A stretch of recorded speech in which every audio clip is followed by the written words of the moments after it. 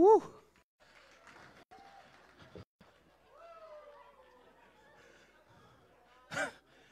I'm going to start over. Let's just try that again. Hold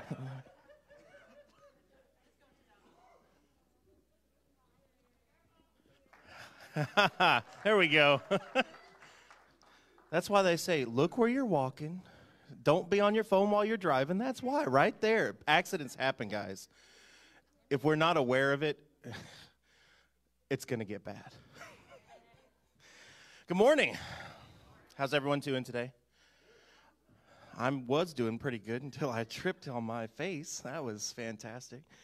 So, I'm all flustered now. This is going to be fun. All right. Good morning. If you're a visitor with us today, uh, please see our bulletin. We do have a QR code for you to be able to get all of your visitor information filled out. Um, those QR codes are great, aren't they? Amazing. Throws it right into a system. We can get all your information and be in contact with you. So that is just amazing. Uh, we do have our prayer cards also attached to our bulletins, and we'll ask for those a little bit later in the service. So if you have a specific prayer request, please fill those out so that we can get those prayed for. On our announcements this morning, we do have the honor of having Dr. Martin Taylor with us this morning. Who's excited? I'm excited. It's going to be a great message. We're very much looking forward to it. On February, oh, is it already past that? Oh, goodness gracious. February 12th, we have our Texas Church of God Facebook Live event, which is going to be in replacement of our Winter Prayer Conference. So we encourage everybody, please log on and join that it's going to be an awesome time. I believe, if I'm not mistaken, Brother Hill is speaking. So that is going to be a great time. Also, on February 12th at 7 to 10, we're going to have our first elders training. Uh, I know that there are lots of people who are excited for that, and I'm excited for that to see where we're going to move into with our new elders. Uh, February 13th will be our second tier of elders training if you don't show up to the first one, you probably shouldn't show up to the second one. But uh, and then on February 14th is Valentine's Day, but for us, it's more importantly Pack Sunday. So remember, Pastor said that the family that brings the most of their family and their close friends and packs them in on their pew will be receiving a gift. Now, I don't know about you, but I wouldn't be taking people to lunch. I'd be like, I got you here. Y'all have to pay now. That's just me, though. so at this time, children, you are dismissed. I know that Ethan and Sister Cynthia are very much looking forward to having a good service with you this morning. On Tuesday, we had our Facebook Live prayer service. And I read a verse that had been on my mind for a few days. And let me tell you, who knows that when God asks you, when you ask God to do something, like when you pray for patience, what's God going to do? He's going to test your faith. He's going to test your patience. And what did I do on Tuesday? I prayed for peace. So what did God do? He said, "Okay, I'm going to test you. Let's see how much you can handle this week." and my week went from here and just went and it was it was an awful awful week but at the end of the day every day this verse popped into my head and the verse is it's in romans chapter 15 verse 13 and it says now may the god of hope fill you with all joy and peace in believing that you may abound in hope by the power of the holy spirit so every day I was constantly reminded yeah, stuff's going to happen. Yeah, you're going to mess up. Yeah, you're going to trip on your face on the stage in front of people. But I'm there for you. And if you believe in me, my joy will flow through you. So I just am so excited to be here this morning, to be able to have the opportunity to worship Him and allow that joy to enter into my life. Amen? God, we thank you for giving us the opportunity this morning to come to you. And we are so thankful that you allow us to come here and worship you freely, God. We cannot wait to see how you're going to move in this service and how you're going to move in this year, Father. We thank you and we honor you. And we look so forward to being in your presence, God. In your name, amen. Stand up your feet and let's get ready to worship the Lord, or hope, hopefully you're already ready to worship the Lord. God desires right? To worship Him.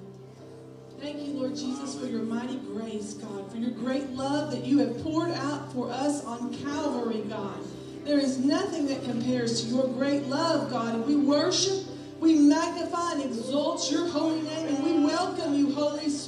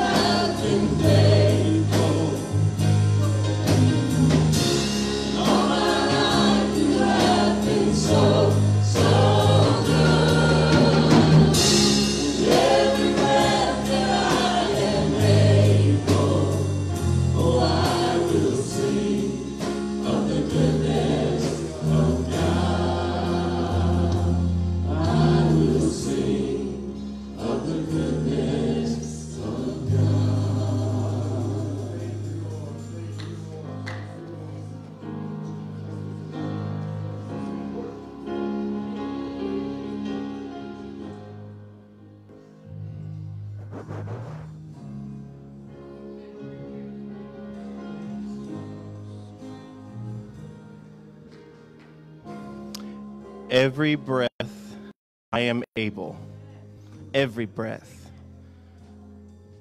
I will sing of the goodness of God. Every breath. Not the breaths on Sundays and Wednesdays, not the breaths when I'm feeling happy that day. Every breath.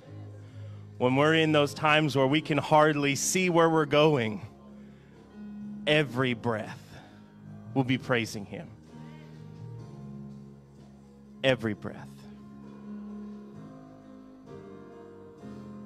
God, I thank you so much that you allow us to live on this earth and praise you with every breath that we have.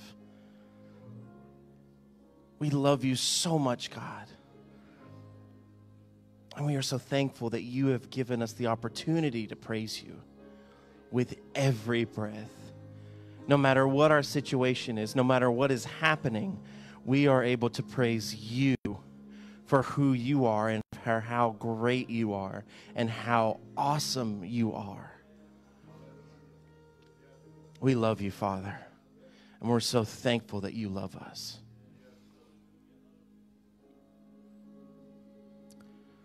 At this time, if you would bring your prayer requests forward.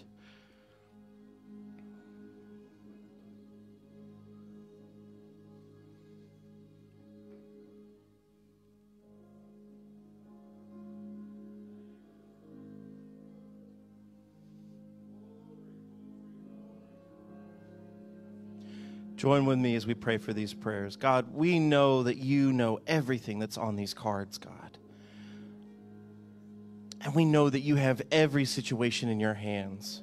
And we are so glad that you are the way that you are because all we have to do is ask. All we have to do is ask God. So, God, I pray for the prayers that are on these cards right now, God. You know what each of them are and you have every need what it needs. It may not be what we think it needs, but it's what you know it needs. Thank you, Father. We love you, Father.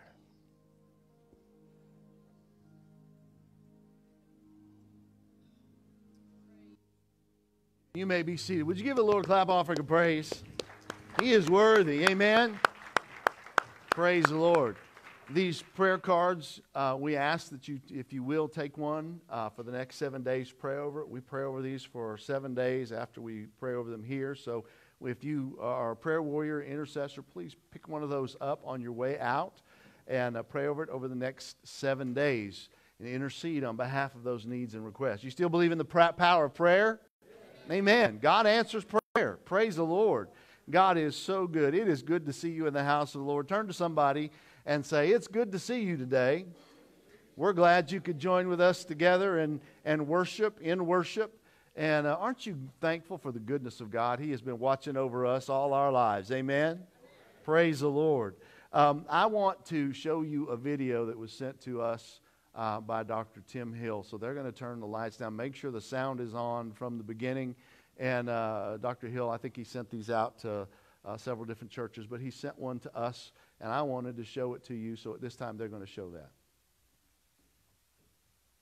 Hello, Kurt. Let me take a couple of seconds here before we transition to the video that's been prepared and attached to this one, and just say to you how much I love and appreciate you and your family and all the Lord is doing through you in Mansfield, Texas at the Great Walnut Creek Church.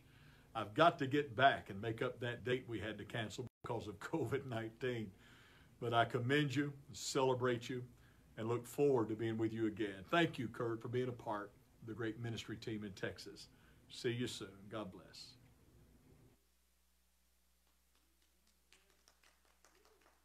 Hello, Kurt. Let's step up. Any other time, appreciate you.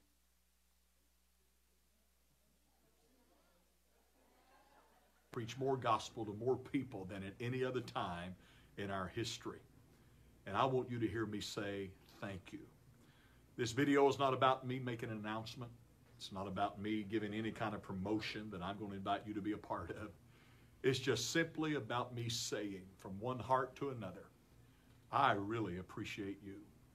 And I appreciate your state leaders, Toby and Diane Morgan, how they have so creatively stepped up and with great innovation, they have communicated with you.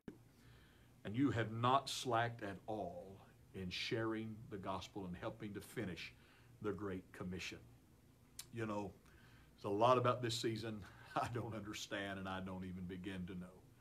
But there's one thing I do know. I know that the God who knows the end from the beginning and everything in between, He's got you and me in the palm of His hands. And I still lean heavily today on Jeremiah 29 and 11, where the Word of God says, I know the thoughts that I think towards you, thoughts to do you good and not evil, to give you a hope and a future. One rendition of that says, to bring you to an expected end. In other words, God's not going to be at all surprised by your victory and your success. So, Pastor, I just want you to hear me say today the Church of God Executive Committee prayed for you today. Every week, we select a state and we call the names of those pastors in that state in prayer. And we did that for you today. And I can't wait until I can come home again and share fellowship with the people that raised me, literally. I love you so much. I look forward to our time to be together. But until then, let's just keep being the church of the Lord Jesus Christ that makes a difference in this world. We are indeed the church on mission. God bless. Amen. Praise the Lord. Yes. The second half of that was more geared towards you. The first little snippet was to, to Gina and I, but the second half was to you, to encourage you. And when he said a place where he was raised, I, I do have to say that uh, Brother Speedy grew up with him. Isn't that right? He, he, he uh, grew up with Dr. Hill, and um, many of you know him, and we are working on getting him to come this year. He's supposed to have been here last year, but COVID 19 happened and he was unable to come. And we weren't actually having services when he was scheduled to come. So uh, we're looking forward to getting him to be able to come in and be with us um, later on this year. I want you to um, prepare your hearts for giving. And in just a moment, we're going to ask you to come and worship the Lord in your giving and the tithe and offering. Those of you who are watching online via live stream, you can go to our website, wccmansfield.org, and click on the Take Action button at the bottom. If you're here in the service, you can go to the back of our bulletin and you can hit the QR code right here, and it'll take you straight to that page. And you can pay online with Apple Pay or uh, Google Pay, however you want to pay that. You can do that there. And so I'm going to ask you to stand and come and worship the Lord in giving uh, this morning with your tithe and offering. Would you come and worship Him?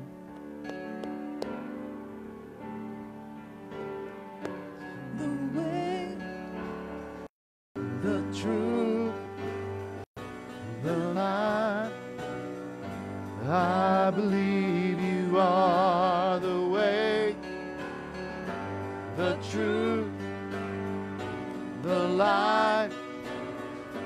I believe you are the way, the truth, the.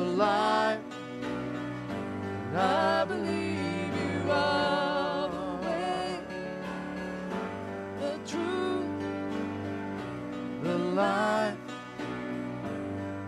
Believe. Would you stand? Would you stretch your hands this way as we pray the Lord's blessing upon this that has been brought to his house? Father God, in the name of Jesus, according to your word, God, we have brought the tithe and the offering into the house of the Lord, God. And Lord, we know, Father, that when we bring it out unto you out of obedience and out of worship, God, that you will bless and multiply it. God, and not only that, you will bless and multiply unto those who bring to your house and pour out a blessing that cannot be contained. And Father, we thank you for what you have done and the provisions you have given. And Lord, we are thanking you in advance for that which is to come in the name of Jesus Christ. God, we glorify and honor and bless your holy name. We sanctify this under your service, God, to reach around the world with this that has been brought to your house today in Jesus' name. And the church said, Amen. Amen. You may be seated. Amen. Praise the Lord. it, it is my uh, uh, honor to uh, introduce to you a man I've known for, well, since 1991, 92. It's been, a, that seems like yesterday to me, but then I look at the calendar and it's been a long time. he, uh, Dr. Martin Taylor, um, was in South Louisiana pastoring one of our uh, premier churches in uh, South Louisiana at the time that Gina and I were appointed to our first pastorate at Savannah Branch. We were um, just a couple of miles from his church. Um, in fact, the road that went from my church to his church, they called Million Dollar Road because it, I think it cost around a million dollars to build. Uh, at least that's what I was told. And uh, I think he got the million dollar end and I got the beginning end. but before that, I had known him because his church hosted uh, the youth camp every year. They had a campground there and they hosted the, the state. And I worked as a youth pastor when we were in Monroe. And I met him at that time. And even a, as a youth pastor, you know, when you're a youth minister and you're, you're at youth camp, it's one thing. When there are senior pastors there, it's a little different. And uh, Dr. Taylor was, uh, to my young self, an intimidating figure. And, uh, uh but he's, he was always kind and gracious and uh, uh, good to uh, Gina and I. I remember when we were appointed to our first church that um, I had occasion or two to call and ask him a question uh, about something that was going on, about a district meeting that I, or a, a, church conference that I needed to have, or a church meeting, and you're supposed to get the approval from your district overseer, which he was.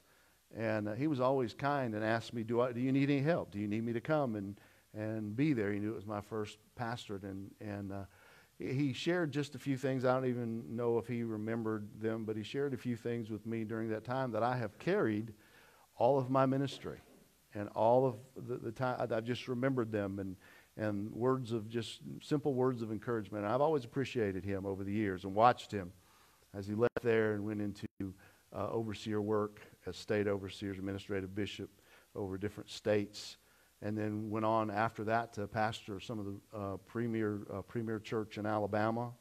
And uh, um, he's now serving the church as a world missions representative. Uh, he and his wife, April, do a lot of traveling. Um, I actually uh, kind of reacquainted with them uh, on my trip to Scotland, my missions trip a couple years ago to Scotland. They were there, and um, I got to know April and, and re- reacquainted with uh, Brother Taylor, and I call him Brother Taylor. He is does have a doctorate, but to me, he's always Brother Taylor because he was my first district overseer. And so I appreciate them. And uh, we have been talking for probably a year and a half, two years about him coming here and just speaking to you. And I have shared with you uh, that he is one of the premier preachers of the gospel of Jesus Christ in the Church of God, and preached camp meetings and state meetings and conferences and done all kinds of things. And I could go on and on, but I know you're ready to hear him as he presents the World Missions vision uh, for us. And our first Sunday each month is a World Vision or, or a World Missions emphasis. At the end of the service, we're going to have an offering where you can uh, give, and he's going to talk more about that to World Missions. But I want you to make him and April welcome this morning as Dr. Taylor comes to minister to us. Would you just welcome him as he comes?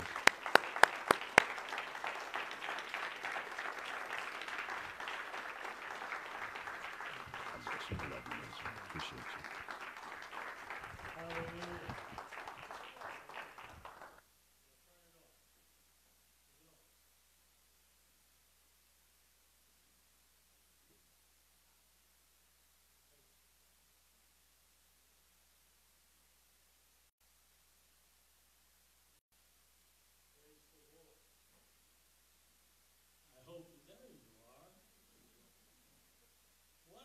Great privilege and humbling honor to be with you today.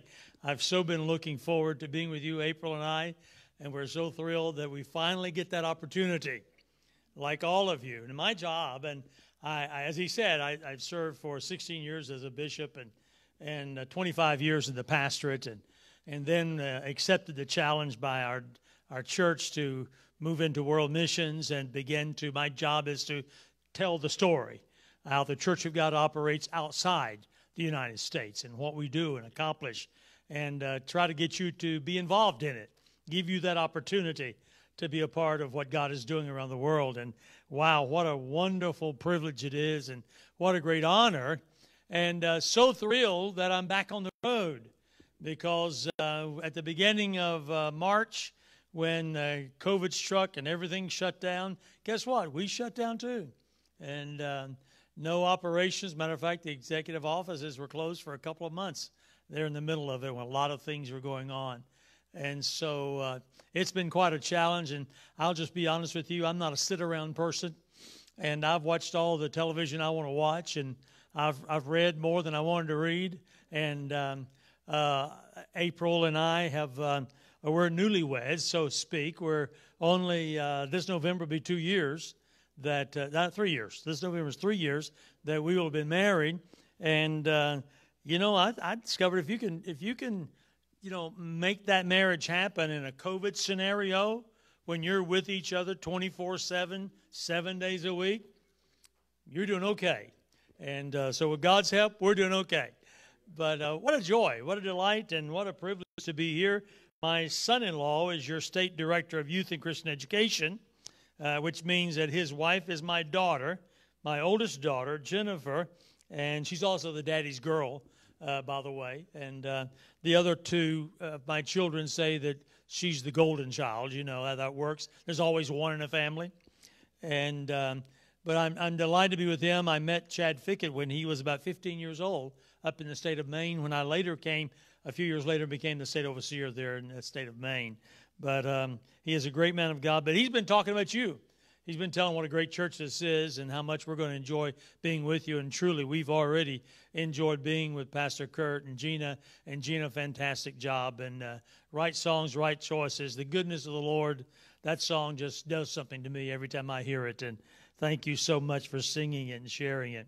Uh, if you have your Bibles today, I want to take you to the Word of God in Mark's Gospel, chapter 2 chapter 2, and somebody's talking to me. I don't want that.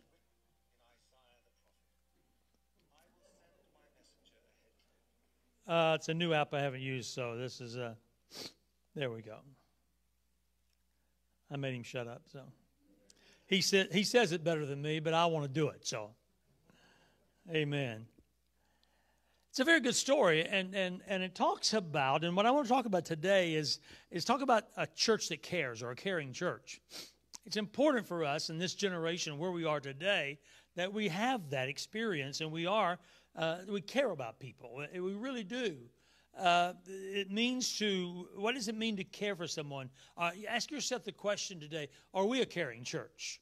I think churches should continually ask themselves that. Uh, churches uh, sometimes, uh, histor- his, uh, um, oh, wait, stop. Rewind, start over. Rewind like you did the tape while ago. All right, but, but, but researchers have told us that churches are not the friendliest environment to be in. Now, most churches, about 90% of churches believe they're a friendly church but not 90% of the people who attend there think it's a friendly church, especially visitors that come.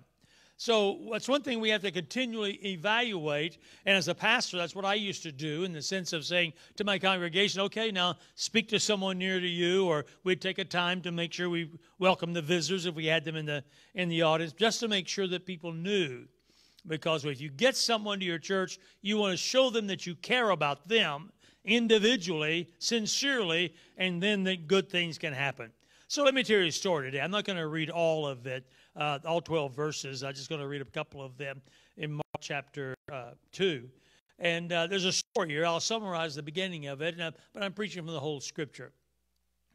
Jesus had just completed a tour of the synagogues in the area and now returns to Capernaum. Quickly, word goes out that he's there. And soon the little house where he was is overfilling with people trying to hear him and see him. And among the crowd was a group of men who all of a sudden bring their handicapped friend to Jesus. Let me read that scripture in 4 and 5. And when they could not come near him, meaning Jesus, because of the crowd, they uncovered the roof where he was. So when they had broken through, they let down the bed on which the paralytic was lying. And Jesus saw their faith and said to the paralytic, Son, your sins are forgiven you. So they, they come to the church, they try to get in the building, they can't get in the building, and most people would have said, Oh, well, I guess we'll try again later, or we'll come back some other time. But they did not. Instead, in the buildings of those of, of Jerusalem and that Capernaum, that area, would have had an outside stairwell that would have led you up to the roof of the building, which would have been a flat roof. And uh, so they would have climbed up there and they began to tear open the roof itself because they were intent on getting their friend to Jesus. Now, obviously, they were friends with him. The Bible says, obviously, they were people, four men in particular, that deeply cared about the man's brokenness. Ask yourself the question how much do you need to care in order to do what they did? Because they had to work. That's important. They had to work to get their friend to Jesus. It just didn't happen. He just didn't show up. They went and got him. They brought him. They went up. They tore open the roof and they let him down to the Lord. And the Lord said, they saw, they, they saw their faith, and he said to the paralytic, Son, your sins are forgiven you. Later on, we know, of course, he also tells him to get up and walk, and he does. But by the actions of these men, they give us the characteristics of a caring church and a caring people. And I want to talk about that today. Number one, they had genuine concern. They had genuine concern. Unselfishness is a word that we're not familiar with very much, but unselfishness was a characteristic that marked these men. Today, our world is filled with selfishness, self centered, self absorbed people. It seems we're always asking our leaders, What are you going to do for me and how much are you going to give me? It's always about me. I mean, I'm guilty, as we all are, of falling into that trap occasionally and allowing, not thinking about other people, thinking about those around. And we've all felt that way this year. We've all gotten to the place and we've prayed to the Lord and said, Lord, don't you care for us? We've gone through fits of depression at times from being cooped up with the same group all the time. Or, uh, you know, if you've got kids, I can imagine those of you have children at home that you've had to teach them my my first wife taught our kids homeschool them for a couple of years, but I I, I refused to do so. I, I, said no, I'm not doing that. I uh uh You know, so I, there are people paid to do that, but but there was a circumstances that was important for them, and they did that. And I'm thinking to myself, I can't imagine you, you mothers and fathers who, who have taken on that task of, of, of, of taking care of your children, but not only just taking care of them and feeding them and clothing them and all that kind of thing, but most of the time they're shut up inside. And you're trying to keep up and trying to keep sanity going on. And you sometimes say, throw up your hands and say, God, what, what in the world? You know, you want to do the, the commercial many years ago that came out and said, Calgon, take me away. You remember that one? But yet, in order to bring this man to Jesus, they had to deny themselves many of the blessings that others at the meeting were going to receive because it meant giving up their time. There's another thing giving up their time for someone who was broken and in need. Broken and in need. Giving up time, being genuinely concerned, caring, because that was necessary. It meant caring enough to be inconvenienced. How many times someone either post on Facebook or some friend of ours tell us, oh, brother, uh, my so and so, my child, or my, my brother, or my aunt, or whatever, my uncle, they're sick, and would you pray for them? And I'll pray for them. Do you? How many times do we say, I'll pray for you? And we go on and we mean to, but we forget it. What I have learned from me, because I get that a lot, is I've learned that I pray right then. As soon as I say I'm going to pray for them, I pray for them. But it's the understanding of inconvenience. Because sometimes it's not convenient, or they address it at an inconvenient time. But it means caring enough to, to be inconvenienced, caring enough to go out of their way to help someone else. And the beauty of a church with genuine concern is its willingness to become involved without considering personal cost, without considering what does it cost me.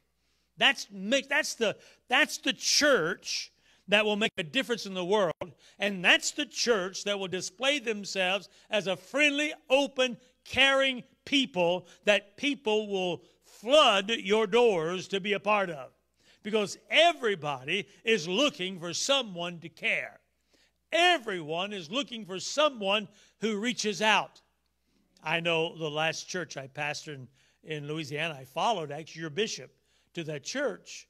It, at one time was a large church, over a thousand people had fallen on hard times, and and uh, your bishop came in and stabilized it and brought it up a level, and then we tried to carry it to another level and got to some uh, progress in it, and and we started seeing people come into the church. And after a while, I would meet with them and I would say to them, "What caused you to come here?" Because I had worked hard at it, honestly. I'll be honest with you. And I said, "What what what what what what caused you to want to be in our church?" And I love their answer. The answer said, Pastor, I really can't say. You know, was it preaching? Was it singing? It was well, it was all those things, but I just felt home. When I got here, I felt like this was where I was supposed to be. Now let me tell you something. That's what the Word of God teaching us. That's what the God says to us. And the understanding that there's an opportunity. Now, the second thing they understood is they only had genuine concern, they understood cooperation. They understood unity. It took all four of them to bring their friend to Jesus. Each man suddenly realizes the importance of the other. Not one of them could have done it by himself. It took all four of them. Success will only be achieved if every man came together to hold up his corner of the bed. You know, most ministry is about simply doing what we can. People worry about what ministry is. My son told me the story when he went to Lee and he was training and studying to be a youth pastor and later to become one. And uh, as he's talking to a friend of his who was also in class with him, whose dad was a pastor also, and, and he was talking about the, the fact of having to work at uh, Cracker Barrel to, to get enough money to be able to go to school and all those kind of things. And, and he said, This is not ministry. And all this stuff is going, he was just, just you know, a young teenager ram, rambling. And, and finally, my son stopped him and said, Stop. Your dad almost obviously did not teach you and train you like mine did. My dad taught me that if we're called to preach, whatever we put our hand to is ministry. If that meant cleaning the toilets in the church, or whether that meant cleaning the floors, or that meant, you know, sweeping up trash, or cutting the grass, or trimming the shrubs, whatever it was, that was ministry. And so that's sometimes what we have forgotten. We began at some point when we brought in what we begin to deem a professional clergy to where we begin to categorize, and then we brought in staff, and we need all those things. I know I had all of those. I know you need them, but at the same time, it caused sometimes the people, the real ministers, of the church uh, to sit back and think, well, I'm not involved in ministry. I'm just here to enjoy and relax and enjoy the service. You are here to enjoy the service. But there's so much more because whatever we do, we are ministers. I try to tell people do you know that you are a witness for the Lord, good or bad? You're an active witness or you're a passive witness. And it's okay sometimes to be a passive witness. It's just the fact that when you meet someone, you smile at them. It's a simple fact. If you're in a store, you're polite to the clerks. If you're in a, in a, in a restaurant, you're nice to the server. You give them a good tip. You don't give them the cheap. You know, I, I watch that all the time. I'm very cognizant of it. I never worked in the food industry. My kids never worked in the food industry, but but I, I always pay attention to that and realize that yeah, sometimes they mess up. Sometimes they have a bad day. As a matter of fact, one of the thrills of my life is every now and then when I'm in a restaurant like that, the Holy Spirit will allow me to minister to one of those people. And he usually does it through an offering. They won't even be my server, and they'll come by a couple of times, and the Holy Spirit will say, Give them a piece of money and tell me how much to give them. And as I do it, I, I, come, they, I said, Well, Lord, that's not my server. If they come back by and they stop, that was one beautiful young girl that one day came by, and she came by and stopped. And when she did, she was going to pour me some tea. Now, it wasn't her table, but God used it. And I said, Here, I'm supposed to give you this. And she took it, put it in her pocket, went back to the back, came back out, and said, You can't do this. I said, Sure, I can. She said, But that's too much money. She said, uh, she said, I'm not your server. I said, Don't worry about my server. I'll take care of my server. But I said, God said to give that to you. She started tearing up. She goes back. And a few minutes later, she comes back out there and she said, I got up this morning, my car wouldn't crank, and my battery's dead. And you gave me the money to buy a new battery. Whew, I got goosebumps right there. And that's when I say, Oh, thank you, God, because I write by myself. There was nobody around me to show off to. I just simply say, Oh, thank you, God, that I was a, a, a beginning of a passive witness, but I became an active witness. And I let her know I did that because the Holy Spirit told me to give it to you. You see, that's what we do. If we're sensitive, if we're aware, and it's about awareness, if we're aware that wherever we go, whatever we do, we're a witness that we are there and that, that, that we are a part of the ministry of the kingdom, and it's about doing what we can. In this case, failure was inevitable if any one of them had decided to do his own thing. How much more we can accomplish in the kingdom if we understand not just coming together, but working together. That's what the psalmist said in Psalm 133. How good, how pleasant it is for brethren to dwell together in unity. You see, unity, according to Psalm 133, brings anointing, brings refreshing, brings blessing, and brings favor. And we all want that in our church. How much more can we accomplish if we understand all of us are important to the work of the kingdom? I had the great privilege and pleasure to go to churches sometimes. I pastored five churches in my in 25 years, and and as I I would go to some of them and they would be down, as, as we'd say in the, the world, business world, whatever, they're down on their luck.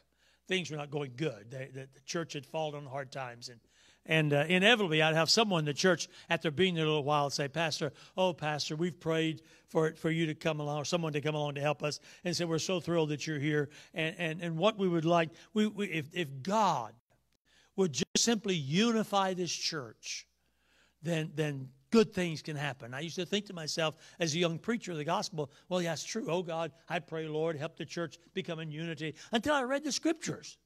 And I read the scriptures, God doesn't bring unity. God doesn't do that. We do that.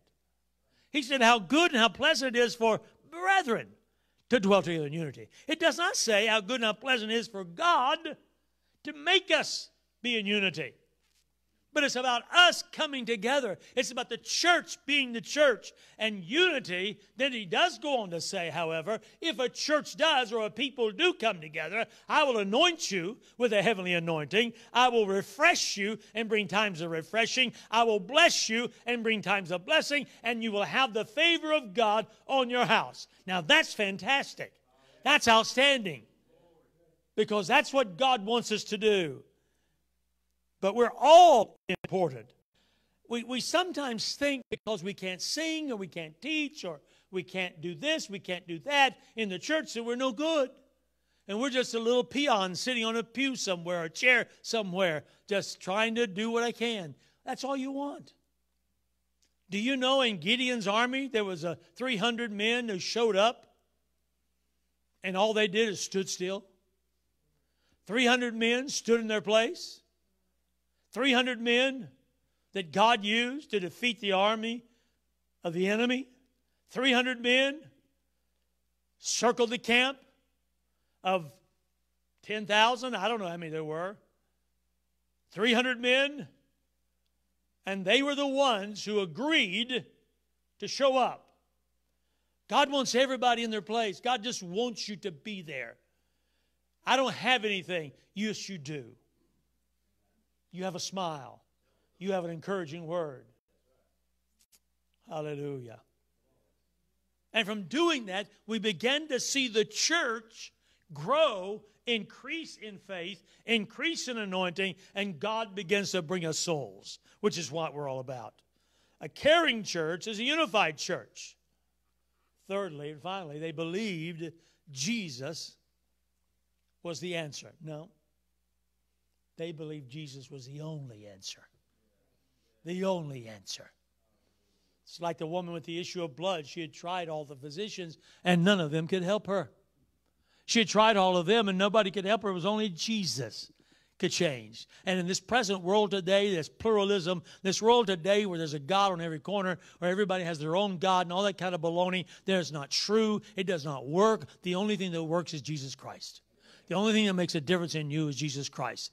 Uh, one of the things that's happening right now, when we when we got into this scenario, the COVID, most of our, our pastors, local pastors, somewhere close to 40,000 pastors on the outside of the United States, they're primarily day workers. You know what that means? It means they work day by day.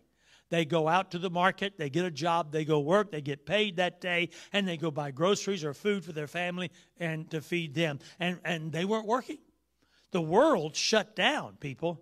And some of it is still shut down, much more than we are. Indonesia is still right now, there is such rampant COVID going just raging everywhere because it's a very populated country and so the world shut down. Well, we find out our, our pastors are starving, and our director, Dr. Griffis, sends out a plea and tells us to help send out a plea to our churches and pastors and say, Can you help us with food? Can you send us an honorarium, so an honor or money that we can send out to them? And God blessed us. And this church responded in the middle of crisis, in the middle of trouble, in the middle of time the churches were not having church. And we, that more than five $100,000 came in to World Missions just for that one project. And amen. And, and this is what we were told. Dr. Griffis was telling us this story just recently when he said that, that, that they began to send out, uh, the, the, the leaders would send out food packages and get them to the pastors, and they found out that they weren't keeping all of it. What they were doing was they were sharing with their neighbor. It became a point of evangelism. And so they would go to their neighbor and say, We have extra food. Could you use some of it? The thing is, many of their neighbors were Muslim. And God has used that. We're seeing a revival in Muslim countries uh, because of Christians who have simply shared a piece of bread. Oh my koshoto korata masanta rikobohusaya. That is ministry. That's the work of the kingdom. That's about people who are concerned and people who care and people who understand only Jesus is the answer for hope for the world itself. Can you say amen? I get excited sometimes still. They could have complained how heavy the bed was, or how big the guy was, or how big the crowd was, or there was a ball game to see this afternoon, or we couldn't get him through the crowd. We just can't. Maybe next time. But they did not. They refused to quit. They refused to walk away. They refused to give up. And most miracles, someone said, are the result of someone who just wouldn't quit. Mm. They cared. They cared. What I'm so thrilled about is they cared enough, and God cared for them the same way because He saw their faith. And he saw, said to the man, Your sins are forgiven. And then later on, because the Sadducees and Pharisees sitting on the front row didn't like what was done, how's the word Jesus can say, Forgive them? Jesus said, Just let you know I have that ability. Get up and walk. Take your bed and go home. Hallelujah. Somebody going out of their way so somebody else can be saved. Somebody sacrificing so that somebody else can be healed. Somebody ministering to someone that they'll never know so they can find Jesus Christ and meet in heaven together. That's what World Missions does. it, it is the most exciting place to be a part of. I think I've been in ministry. I don't. I, I, personally, as I was an evangelist for five years, I was a pastor for 25. I, I know all these things, and, and, I love to see people get saved in the altar. And now we're we can't even touch people. You know, I'll be glad when all this baloney is over, we can move on and, and get all this virus out of the way, or uh, or everybody gets it, so it get over with it. You know. It's like the measles. I remember one of my, when my, there were four of us siblings, and one of them got uh, measles. My mother put two of us in, uh, in bed with the, the sick one. That was a mindset in those days. You know why? All of them get it and get it over with. We all got it. We got it over with. Didn't have to worry about it anymore. I know that's not the way you do that, but that's what they did. That was a long time ago. But but but it, we're at a place where we can't stop doing ministry, and World Missions does that. Uh, two years ago, or a year and a half ago, we moved into our 185th country of the world. According to some numbers, there's only 190 countries or 195 countries in the world. I did not realize that we would be part of an organization. I was part of an organization until I got here that, that actually is doing its best to make sure the gospel is preached to the whole world. I love that. That we sacrifice that. Our people go out of their way. We have people embedded in Iran. Well, I don't know their names, and nobody will let the, you know what their names are. We have people embedded in Iraq. We have people in every Muslim country, Saudi Arabia. We have people embedded in these countries that are winning souls daily winning souls daily. But you know, it takes a little bit of effort from us to make sure they get the job done. And I, am amazed and thrilled to have that opportunity. 185 countries, about 40,000 native pastors. We have about 500 full time career missionaries out there who, who gave them up, and I'll introduce you to a couple of them in a few minutes. But I introduce you to one in particular who, had, at an older age, when most people were retiring and settling down, they decided God had called them to Samoa, and so they went out and they're out of the, the out of Missouri, and they went and sold their house, took all their, their retirement out, their, their, their accounts. They sold their, they had a motor home, they sold their motor home, they sold their cars. They gave up everything they could go and got down to enough that they could put in a couple of boxes, and they went to Samoa. They're both in their 60s at least to start their missionary journey. I'm telling you, that tears my heart up. I'm a compassionate person, but I, that, I'm not that compassionate. I, I thank God. But when I hear a story like that, when I hear their story, I know them personally. I've met with them, I've talked with them, I know them personally. You guys helped them last year. They get to Samoa. They were supposed to have a car there. The car was broken down, wouldn't run we got out and I came to the state, and your pastor stepped on board with us along with several other pastors. We were able to buy them a vehicle. They could get around to do their ministry. You see, that's the way it works. The money's not there, but it's here. And we work to send that money there and get it there. When we have 120 Bible schools and universities around the world, we have uh, about 130 or 40 orphanages where little children that are abandoned and cast aside and and disrupted from their lives are, are, finding hope.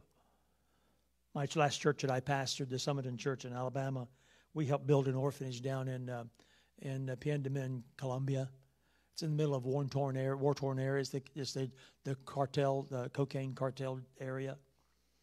Matter of fact, I've been down there two times, three times, and uh, you can only go in for a couple of hours. You can't stay overnight because of the rebel soldiers are in the hills. They're not going to mess with the children, but if you're a white person there, you know they, they want you. They want you so much that they'll bring you in and set you up a house where they live. You'll be tied up and beaten, mistreated. You won't get any food, but they want you. That way they can contact your people and say, We want money. But there are people who are willing to go into that. And those children are being ministered to. We make that sacrifice so those children can be ministered to. We got about 50 kids there. We got so many of those around the world that's going on. They were just abandoned, thrown to the streets, and God has helped us. So you see, you have that opportunity. I talked to your pastor and found out that you're you're doing a great job. Oh, I'm sorry, April. In my briefcase there, hand me that that report. Um, just real quickly.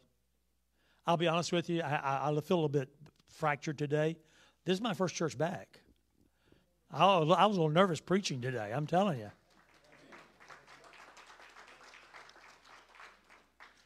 Uh, we talked about it, us uh, us uh, uh, reps. There's three of us that that cover the whole United States.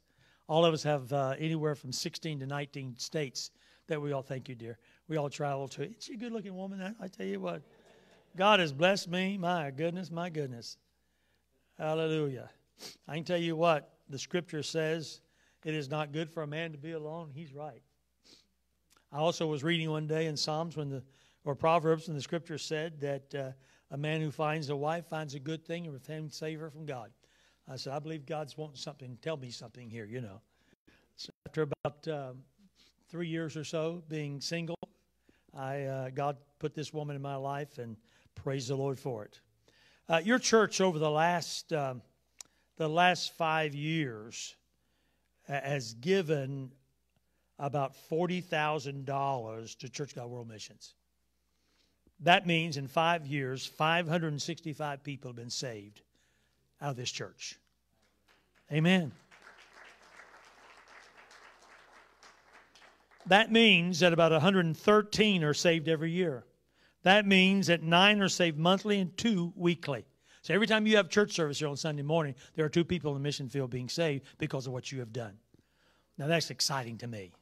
And as I started to say earlier, I, I don't see the number of souls saved that I used to get. My report doesn't look real good when I turn it in to the, to the, the, the, to the general offices. But at the same time, as I do that, I know that every time I, I'm helping win the souls of the world, and we look out there and we see every year a close to a million people that are saved around the world. There, do you know there are more members of the Church of God outside the United States than in it? There's over 6 million people outside the United States and just about just over a million inside. God has given us a place. And it all began, real quickly, let me tell you this. It all began with one retired Methodist pastor and one Bahamian who got together in a church service in the middle of Florida. Neither one of them Church of God. Even the, even the camp meeting was not a Church of God camp meeting. And they've got filled with the Holy Ghost somehow or another, the general overseer that at that time happened to be there. They met with him, and he commissioned them to go to the Bahamas. And this man gave up his Methodist pension, took his family, put them on a boat. They went across. The Bahamian went ahead of him to set up the territory. And from that one church that still exists today, Turtle Cay Church in, in Grand Bahamas, that church, we're now in 185 countries. God, through His mercy, allowed us to multiply. And the people of the Church of God, now over a hundred years, over a hundred years, have been winning souls around the world. And I want you to be a part of that. Uh, the, the, ushers have, or the elders have in their hands uh, uh, some faith promises. Now, don't panic on this. I am not asking for anybody to give me a pledge today. All right? Not anybody to give me a pledge. How many of you at the end of the year or the first of the year created what this world calls a resolution? Anybody ever doing resolutions? You did resolutions? Nobody? You learned your lesson, didn't you? Let me say it this way. How many of you have ever done a resolution in the past? And how many of us failed to resolutions, most of us. You know, a resolution, I've learned that a resolution is a faith promise. A resolution is a faith promise. It's what we use on a regular basis to get people to understand a faith promise is a goal. It's a goal. It is say, I'm moved by what I hear. I want to be involved by what I hear. I want to be involved in winning souls. Every $54 in change wins a soul. How do we know that? Because we calculate it from the monies that come into the World Missions Department. And what happens is we're winning souls around the world. We're changing countries. There are now countries in the Caribbean and in South America or Central America where the Church of God is the largest religious organization there. The Pentecostal message has become rampant in those areas. Other places, we're just right behind the Catholics, because, of course, South America, founded by the Spanish, is a very Catholic area. But God's given us that opportunity. And what we want to do today, and I want to just introduce you to your missionaries. These are the missionaries that you support already. And I want to introduce you. And as you put each one up, just leave it there a second. Let me talk about that. If you would, they're going to give this to us. So this is Vince and Carrie Massengill. In 2013, they relocated Sharjah, United Arab Emirates in the Middle East.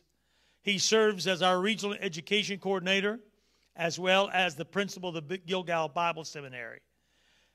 His primary focus is bringing the gospel of Christ to the Arab world through evangelism and through connecting with churches. He says the heart of the Great Commission is not merely about lost people, but about providing the whole world with access to the gospel. 80% of the unreached, listen, 80% of the unreached people in the world live in the Middle East and North Africa. The Middle East and North Africa, 80%.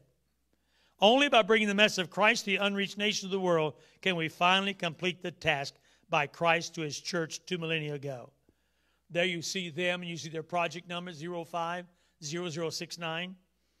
Second is Dennis and Vanna Tanner. Dennis and Vanna have spent their life in the mission field. First with the Assemblies of God, and in the last uh, dozen years or so with the Church of God. First of all, I think they were in the Congo and the uh, African area, and now they're in Scotland and uh, served for years as the state overseer of Scotland. Now they are, are, are, area missionaries, and they have celebrated this as a, as a focus of cross cultural missionaries sharing and guiding the light of Scotland. As guardians of the light, the Tanner's vision remains constant reach the lost, disciple and train new Christians, develop leaders, plant churches among the displaced persons, provide and maintain a guiding light to help people find the safety of eternal life. 0650213, as you see their project number. Your other, one of your other missionaries is Randall Paris. Randall Paris is the Africa Youth Ministry Coordinator.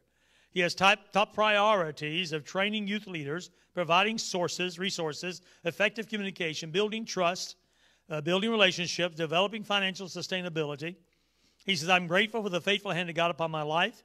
I certainly don't deserve it. I don't have a clue what I'm doing, but God does. I like that. I like honesty. Don't you? I don't clue what I'm doing, but God does. I'm grateful for open doors, the leading of the Spirit. My heart's full. The opportunity, motivation, and sin is clear.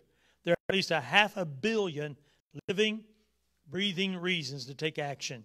An amazing harvest opportunity. And you see 102 9424. Jim and Mindy Weiss. This is the couple I talked to you about. They are missionaries to Samoa. Mindy and Jim share the vision and love for the people of Samoa. A team serving together with Mindy preaching and the one ordained. As Jim says, she does the talking. Jim and Mindy have served faithfully for years in local church. They have a servant's heart to go, to do, and to be where God tells them. They're in a season of transition. The call of God came about three years ago. She stepped down from a nursing career as an assistant professor, saying yes to the call. Jim recently retired to go with her. Jim and Mindy are servants, seeking intimacy with God with a passion to share the gospel. Mindy, has experience with bringing the word to God's women's events, local church, and missions. It's called Living Grace, Living on Grace Ministry, 05, 0650950. Jim and Mindy are, uh, uh, are brand new. They've only been there for about a year and a half now, and they're committed. They sold out and went. Uh, the last one I'm going to share with you is Ben and Diane Bustamante, missionaries to Italy. Ben and Diane have been pioneer pastors for 18 years in Italy. The first they, city they, the church they planted in the city of Milan. Then they began to plant churches all over Brescia, Mantova, Florence, Pisa, Biella, as well as many others. They're part of the leadership council of the Church of God in Italy. Diane, as a matter of fact, is from Lancaster, Texas.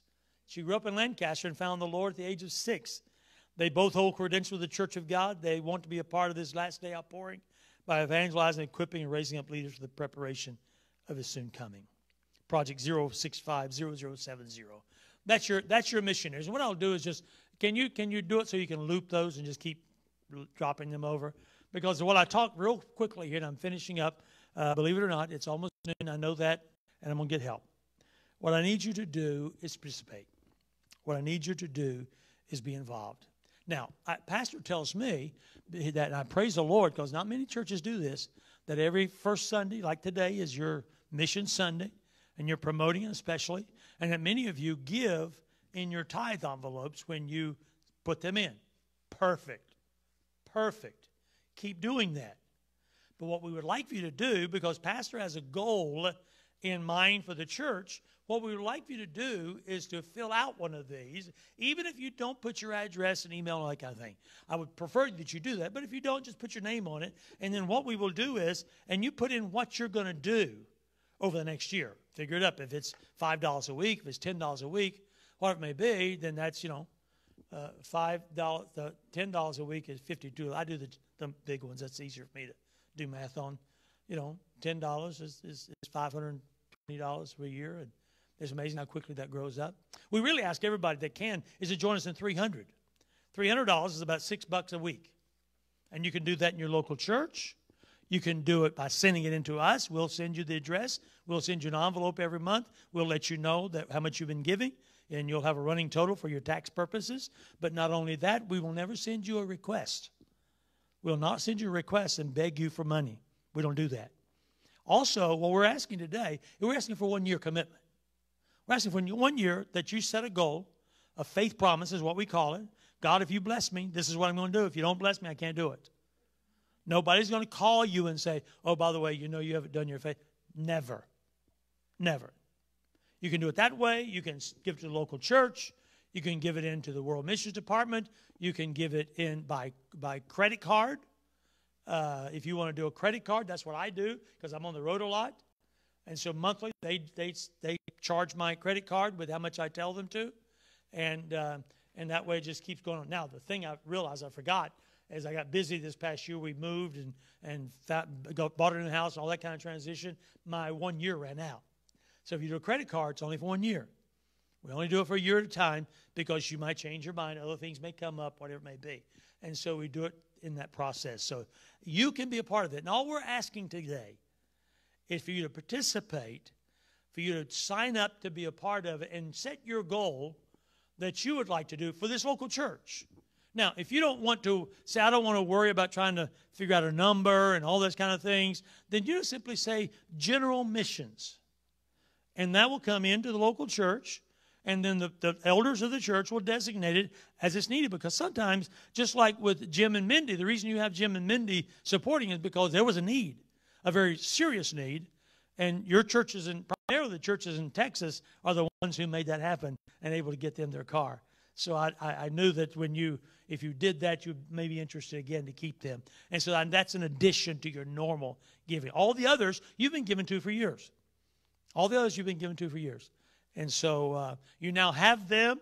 And, Pastor, I'm going to say every first Sunday, let it run again. He's downloaded, he's got it. Let it run. Let the people see who they are. We'll try to get you to get updates from them, maybe a little video here and there to get updates from them, and we can find out what's going on in their territory, okay? So I want you to be involved. I want you to participate. I want you to fill out the faith promise right now while you have the opportunity, just before we click over to the noon hour and I have to quit, okay? On the right hand side, let me explain to you real quickly. This is the, the information side. make sure you put the name of your church on here because your church gets credit on the international level for their giving. And uh, we make sure they get that. On this upper, there's an oblong box right at the very top. That's if you're going to give an offering today. Uh, you may want to say, I'm going to do, uh, I'm going to do the um, $10 a week. That's $520. I'm going to write you a check today. Fine. That's just, or use a credit card. That's fine. Then put it in here. Put it that you're going to do it in here. Uh, if you're going to a one-time gift, a cash offering, whatever it be, write it in that oblong box so we know how to separate things out when we get back in the back. If you want to do uh, monthly or weekly, then I encourage you to fill out the next box, and it tells you you can make a choice. It says, I'm going to give, my faith promise amount is, and I'll give it weekly, monthly, annually. I'm renewing one already. And then at the bottom of it, it's credit card information. If you want to use your credit card, trust me, we have one lady, this is her job. She comes in every, she only comes in the afternoon. She comes in every afternoon, and she works every day in order to, uh, to make these happen. So it's very secure. We've never had a problem. Never in the years we've been doing this have we had a problem with anybody's credit card being used or messed up, okay? So uh, join in, participate, be a part of it. Everybody can do something. Everybody can sacrifice a little. We're not asking anybody to do a lot. We're not asking anybody to do a fantastic. You can. I was at one church and a lady gave ten thousand dollars. I went to the pastor and I said, "Is this not? Is this a kid who's trying to make fun of me?" He said, "Oh no, no, that, that's a real person and she can do it." I said, "Thank you, Jesus." So if anybody's here today and God moves on you in the last few minutes, He's moved on you to do 10,000, you write that down. Amen. Me and Pastor are going to shout all afternoon, so. This is fun. It really is. I know it takes a little bit of your time, and I thank you so much for giving that time. I, will tell you what we'll do is if Pastor, because you know I know how he is. He's just he may have learned this from me is guard your pulpit. No, don't bring every Tom, Dick, and Harry around that wants to preach, because most of them can't and aren't qualified to. But I appreciate it because I know that in this era we're living in, especially with COVID, you, you probably haven't had a lot of personal services going on. And even before that, most churches today, I don't know if yours does, doesn't have night services, don't have Sunday night services. That whittles that down to about 52 services you take out holidays when you may not have one, or holidays that are special events. Maybe you got children's group or whatever doing it. All of a sudden, you whittle that down to about 40 something days. The pastor knows he's got to be in the pulpit. And I'm so grateful. I don't take this lightly because I was a pastor and overseer. I know. I'm so grateful for you as a church body. And I'm even more grateful for your pastor and wife for their allowing me to be here today and to share with you. And uh, whatever you do, you do. All right?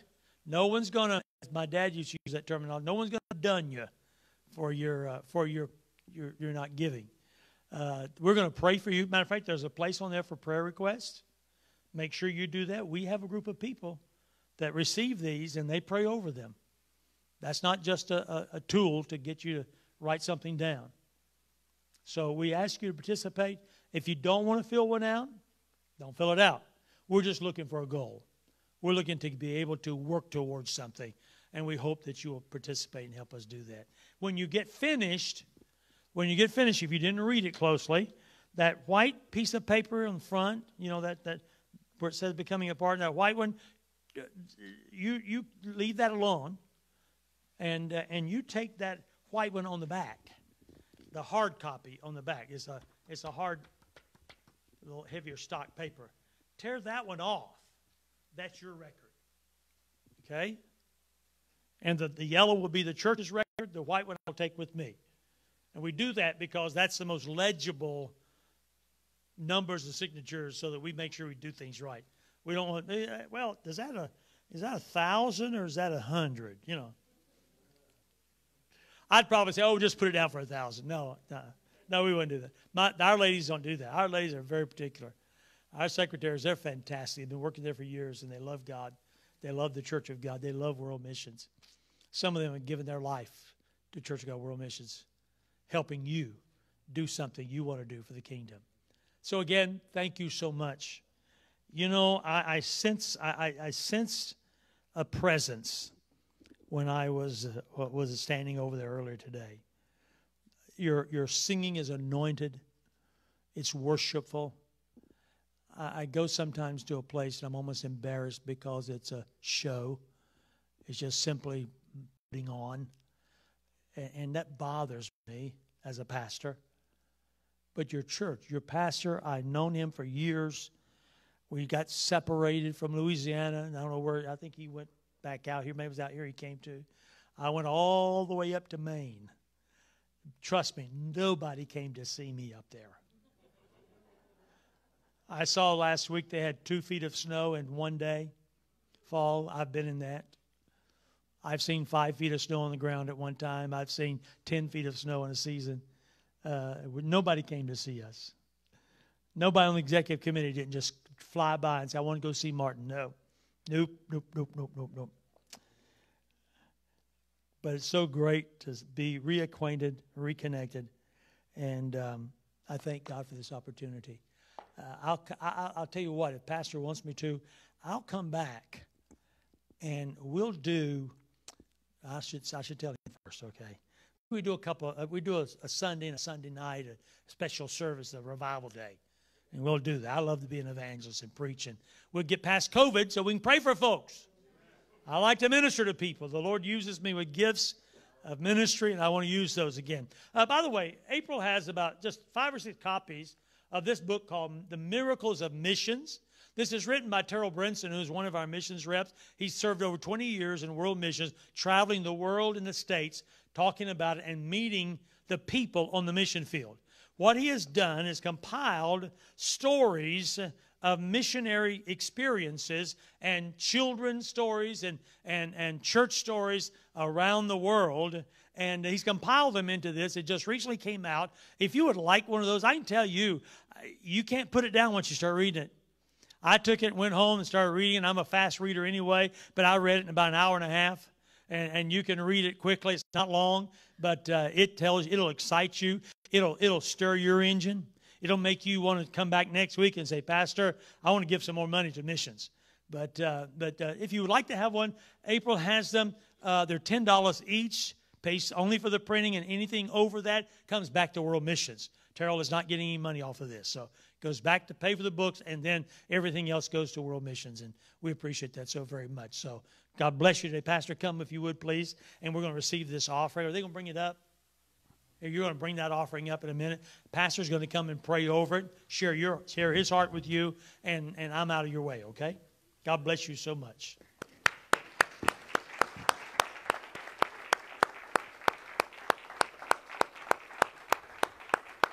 Amen. Thank you, Dr. Taylor. We appreciate it as, as uh, Elder Bill brings the offering plates uh, up here. I'm going to ask Pastor David if you would go to the back and get one of the books um, and we'll talk about that before we ask you to come. What you bring in this offering, 100% goes to world missions. Uh, you also bring your uh, faith promise, faith pledge, if you filled one of those out. If you didn't fill one out, leave it on the, the, the seat and we'll collect those and get them back to uh, uh Dr. Martin, Dr. Taylor. La- a couple weeks ago, thank you. A couple of weeks ago, we uh, decided to do uh, offer to you our devotion. We had about uh, 30 of you sign up for these books. Um, the Pleasure of His Company by Dutch Sheets. We got those in. Uh, I read the first chapter. Um, there's 30 chapters. Where what we're asking is you read a chapter a week, a day, excuse me, a chapter a day. And we're going to be posting on Facebook starting tomorrow chapter 1 as a reminder what you should read and a little snippet. But I'm going to give you a little snippet about chapter 1 because he talks in here in this devotion about um, God does, is not looking for worship. I want you to hear that.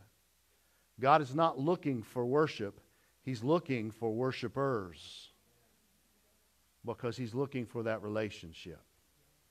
And we, uh, again, we had 30 of you, 28 or 30 of you sign up for these. They were, we told you they were $12 because that was what they uh, gave us as the cost. When we went and ordered them, they gave, it, gave us a church discount. So they are now $10 a book.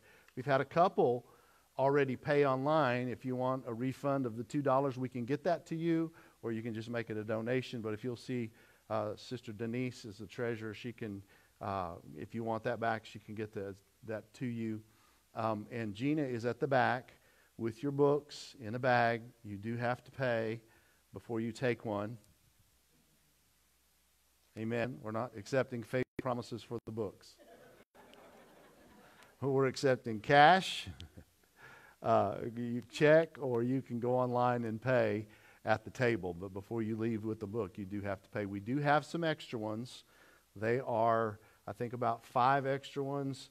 If you want one, first come, first serve. When we run out, we are not ordering another order because we just can't do that. You can get them on Amazon if you don't get one today, um, but you can do that at the back.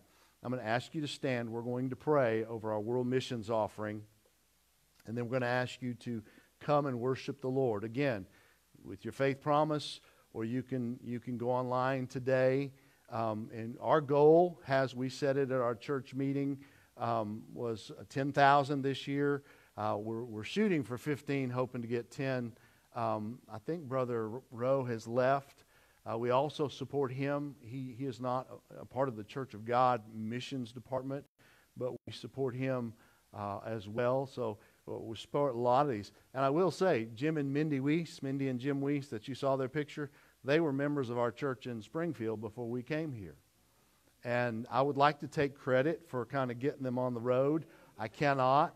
Gina had more to do with, Mindy came and talked to her, and Gina really encouraged her.